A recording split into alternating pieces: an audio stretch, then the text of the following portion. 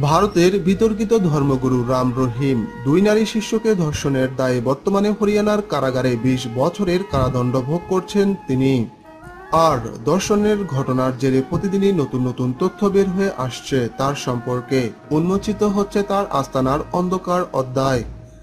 এবারে রাম রহিমের আস্তানার উচ্চপদস্থ দুই কর্মকর্তা তদন্তকারীদের জানিয়েছেন। তার আস্তানায় মাটিচাপা অবস্থায় রয়েছে প্রায় ছয়শো কঙ্কাল, আর তা গোপন করতে উপরে লাগানো হয়েছে গাছের চারা। নিত্য নতুন সকল খবর আপডেট পেতে আমাদের চ্যানেলকে এখনই সাবস্ক্রাইব করুন।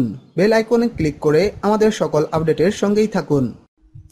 সংবাদ মাধ্যম জানায়, রাম রহিমের আস্তানায় ব্যবস্থাপক পিপাসনা ও সাবেক ভাইস প্রেসিডেন্ট পিআর নাইনকে জিজ্ঞাসাবাদে এসব তথ্য পেয়েছে বিশেষ তদন্ত দল এসআইটি তারা তদন্তকারীদের জানিয়েছেন, এক জার্মান বিজ্ঞানীর পরামর্শে ওই কঙ্কালগুলোর উপর গাছের চারা রোপণ করা হয়।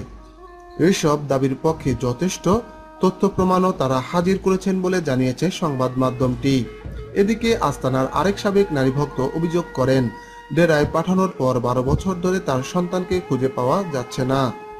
পানিপথের বাসিন্দা ওই নারীর দাবি, ডেরার সেবার জন্য সন্তান পাঠাতে পত্রিকায় রাম রহিম বিজ্ঞাপন দেওয়ার পর দুই মাস বয়সী সন্তানকে তিনি ডেরায় রেখে আসেন। তারপর আর কোনো খোঁজ পাননি তিনি।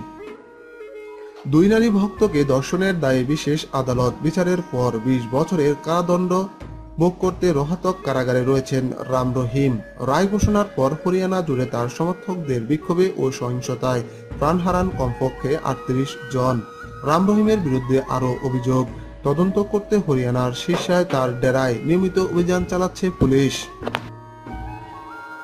নিত্য নতুন সকল খবর আপডেট পেতে আমাদের চ্যানেলকে এখনই সাবস্ক্রাইব করুন। বেল আইকনে ক্লিক করে আমাদের সকল আপডেটের সঙ্গেই থাকুন।